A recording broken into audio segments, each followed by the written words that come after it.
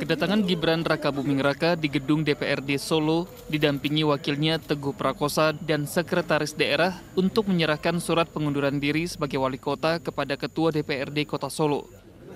Pengunduran diri yang dilakukan putra sulung Presiden Jokowi ini sebagai persiapan jalan pelantikannya sebagai wakil presiden terpilih pada Oktober mendatang. Usai menyerahkan berkas pengunduran diri ke Ketua DPRD Kota Solo, Gibran langsung kembali ke kantor dinasnya untuk berkemas. Ya, selain untuk persiapan pelantikan yang masih di tanggal 20 Oktober nanti, tentunya eh, banyak hal yang harus kami persiapkan dari sekarang.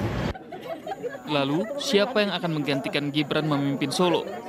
Nama Kanjeng Gusti Pangeran Adipati Arya atau KGPAA Mangkunegara 10 atau yang akrab disapa Gusti Bre digadang-gadang akan menggantikan Gibran.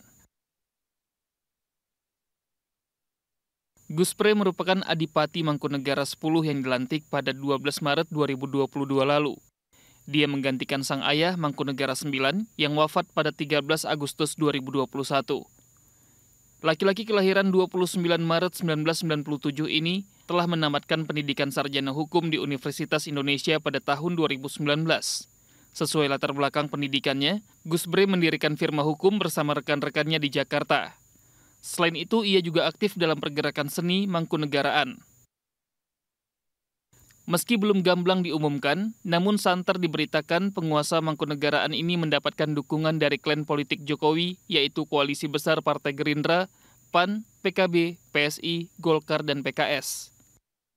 Meskipun pengunduran diri Gibran dekat dengan masa kampanye pilkada serentak yang dijadwalkan pada 25 September hingga 23 November, Gibran membantah pengunduran dirinya itu bertujuan mengkampanyekan calon-calon kepala daerah yang disokong pemerintahan Prabowo Gibran.